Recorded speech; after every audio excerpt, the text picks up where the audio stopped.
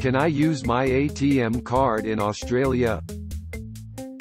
Most Australian ATMs accept Cirrus, Maestro, both owned by MasterCard, and Plus, owned by Visa cards. The ATM should display the logos of all networks it's compatible with.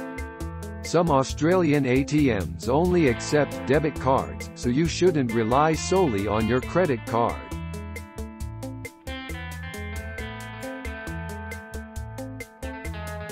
Thanks for watching.